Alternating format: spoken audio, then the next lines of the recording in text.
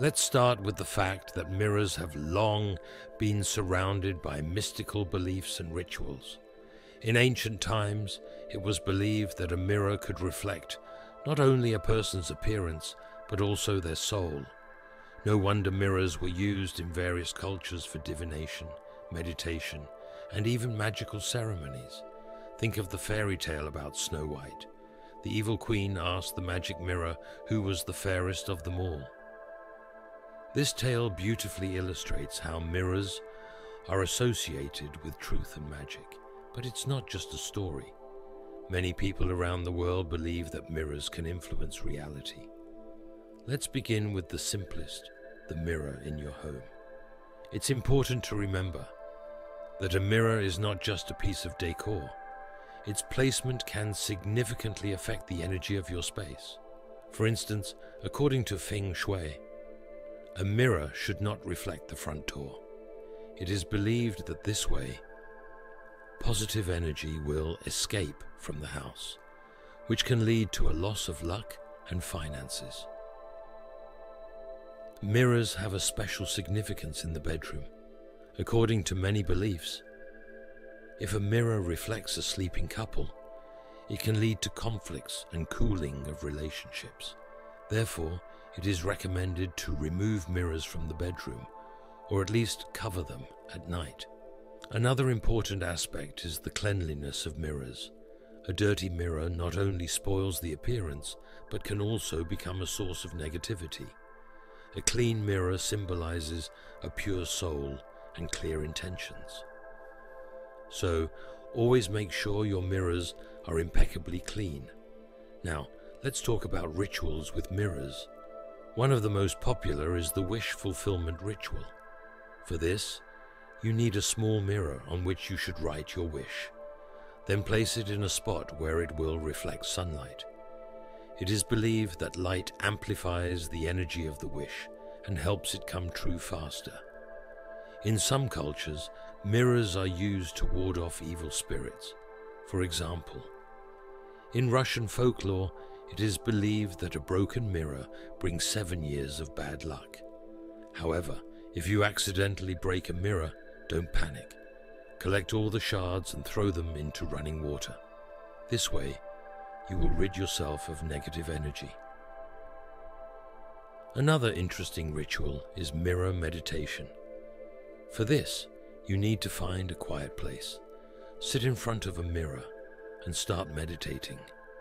Look into your eyes and imagine all your fears and doubts leaving you, being replaced by confidence and peace. This ritual helps strengthen inner strength and self belief. It's important to remember that mirrors can be a powerful tool for self development. They help us see ourselves from the outside, analyze our actions, and find ways to improve. Use this in your daily practices, and you will notice how your life starts to change for the better. An interesting fact in ancient China, it was believed that mirrors could reflect not only the physical body, but also a person's soul. Therefore, mirrors were often hung opposite front doors to ward off evil spirits. In Japan, there are also many rituals associated with mirrors. For example, the Japanese believe that mirrors can store memories. Hence, old mirrors are passed down through generations, regarded as keepers of family history. In European culture, mirrors are often associated with mysticism and magic.